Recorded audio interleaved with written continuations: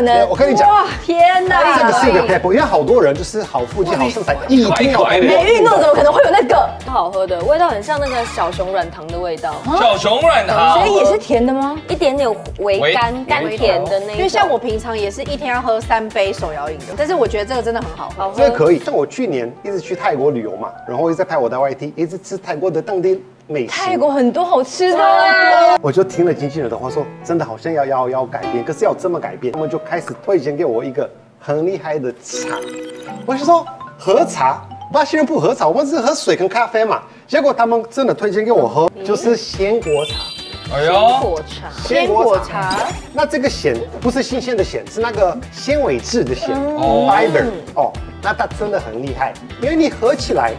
它是非常非常的爽口，嗯，而且它有一个很厉害的点，就是我们最近在吃美食，对不对？对，不管你吃多大条的鱼，或是多大块的肉，它可以帮你解腻。药草之王就是重要的药，药草之王。药草之王第二个叫紫花木素，这个是我后来去手工课是真的很厉害的一个点，它就可以帮我们的身体就是去排出一些我们累积起来不好的囤积，是。然后就可以排出一些毒素，然后它还加了一个很厉害的点，就是一个红色的一个植物叫是不是很像人家的味道？哦。鲜渣，对。没错，就是鲜渣的。哦。你吃鲜渣，它对对身体有什么好处？它可以帮你就是消化你刚刚吃的美食，然后对身体不会有太大的负担嘛。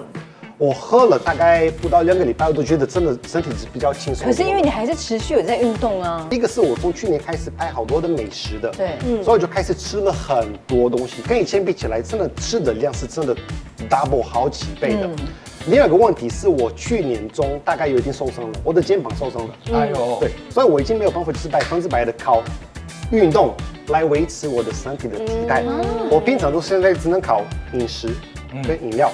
那我饮料本来就是其实很无聊，要不是水就是黑咖啡。那我今天加了一个鲜果茶，对我来说很开心而。且还帮助你消化。因为我刚刚说了嘛，它是有那个药草之王的芝华木素，还有十几多种的花草成分，花草成分加起来就可以对身体其实非常的好，还可以促进我的代谢。我觉得它的另外一个好处是因为我改变我吃美式的习惯，不知道你们是不是有遇到的，就是我上厕所的频率就真的变得很奇怪，就是以前啦你，说大还小？大，嗯就是比较不容易上厕所的。可是喝了它之后呢，不到一个礼拜，我开心的事情是我回到以前上厕所的频率一包在外面要喝什么东西，直接从那个便利商店的那个一瓶水，包里面 shake shake 就可以喝。所以就是我有水壶，我就直接丢一包进去，然后加热水。对很棒很棒的分享，谢谢。